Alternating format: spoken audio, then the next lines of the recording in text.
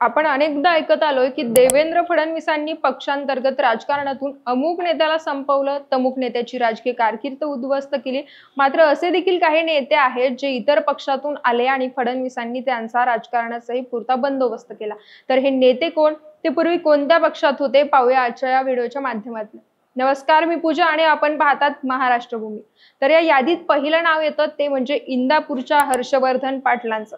एकोणीसशे पंच्याण्णवच्या विधानसभा निवडणुकीत हर्षवर्धन पाटील हे इंदापुरातून अपक्ष म्हणून निवडून आले होते. पुढे एकोणीसशे नव्याण्णव आणि दोन हजार चारमध्ये देखील त्यांनी अपक्ष म्हणून विजयी गुलाल उधळला. याच दरम्यान त्यांनी विलासराव देशमुखांच्या नेतृत्वात काँग्रेसमध्ये प्रवेश केला आणि दोन हजार नऊ मध्ये पुन्हा विधानसभेवर निवडून गेले. अशातच केंद्र काँग्रेस महाराष्ट्रात नेतृत्व बदलाच्या तयारीत होती. त्यावेळी हर्षवर्धन पाटलांचं नाव मुख्यमंत्रीपदासाठी सर्वात आघाडीवर होतं. मात्र मुख्यमंत्रीपदाची माळ पृथ्वीराज चव्हाणांच्या गळ्यात पडली.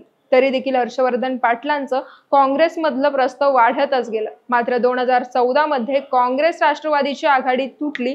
दोन्ही पक्ष विरोधात लढले आणि हर्षवर्धन पाटलांचं राष्ट्रवादीच्या दत्ता मामा भरणेंनी इंदापुरात पराभव केला. मात्र तरी देखील काँग्रेसमध्ये हर्षवर्धन पाटील हे पहिल्या फळीतलेच नेते राहिले. आहेत मात्र दोन हजार एकोणावीसच्या विधानसभा निवडणुकीच्या तोंडावर हर्षवर्धन पाटलांना फडणवीसांनी ऑफर दिली.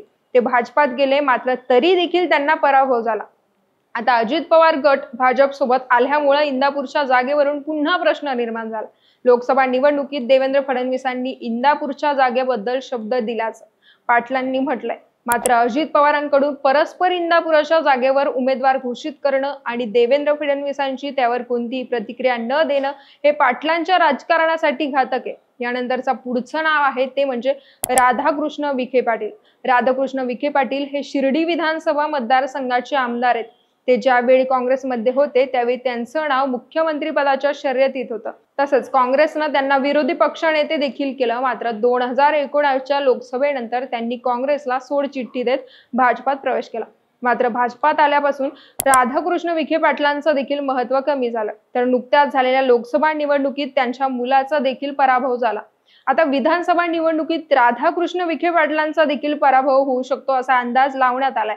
तसंच देवेंद्र फडणवीसांकडून देखील राधाकृष्ण विखे पाटलांना म्हणावी तशी मदत करण्यात येत नाहीये. त्यानंतर पुढचं नाव आहे ते म्हणजे अशोक चव्हाण यांचं. अशोक चव्हाण यांचं घराणं हे पारंपरिक काँग्रेसी विचाराचं घराणं राहिलेलं आहे. अशोक चव्हाण यांचे वडील शंकरराव चव्हाण हे महाराष्ट्राचे मुख्यमंत्री होते. तर स्वतः अशोक चव्हाण यांच्याकडे देखील काँग्रेसनं महाराष्ट्राच्या मुख्यमंत्री पदाची जबाबदारी दिली होती. काय काय ते काँग्रेसचे प्रदेशाध्यक्ष देखील होते. मात्र विविध तपास यंत्रणांच्या कारवाया बरेच भ्रष्टाचाराचे आरोप यामुळे अशोक चव्हाण यांनी लोकसभा निवडणुकीच्या तोंडावर भाजपात प्रवेश केला. मात्र त्यावेळी तेच लोकसभा निवडणुकीत नांदेडच्या मैदानात असतील असं वाटत होतं.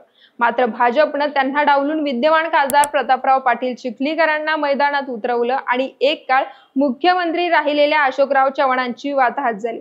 या यादीत शेवटचं नाव येतं. ते म्हणजे महाराष्ट्राचे विद्यमान उपमुख्यमंत्री अजित पवार यांचं. अजित पवारांची मुख्यमंत्री बनण्याची महत्वाकांक्षा काही लपून राहिलेली नाहीये. असं म्हणतात की मुख्यमंत्री बनण्यासाठीच अजित पवारांनी राष्ट्रवादी काँग्रेसमध्ये बंड करत भाजप सोबत गेले मात्र वर्तमान स्थिती पाहिली तर अजित पवार मुख्यमंत्री बनतील असं काही वाटत नाही. लोकसभेला त्यांच्या पक्षाकडं भाजपची मतं ट्रान्सफर झाली नाहीये त्यातून. त्यांना फक्त एकच खासदार निवडून आणता आलाय. शिवाय त्यामुळं अजितदादांचे आमदार देखील त्यांना सोडून जातात. आता भाजप किंवा देवेंद्र फडणवीस त्यांना दिलेल्या शब्दाला जागेल की नाही याची देखील शंका व्यक्त केली जाते. तर यदा कदाचित अजित पवार शरद पवारांसोबत असते तर सत्ता आल्यानंतर त्यांच्या मुख्यमंत्री पदाची शक्यता जास्त असते. यावर तुमचं मत काय? तुम्ही आम्हाला कमेंट्स करून नक्की कळवा.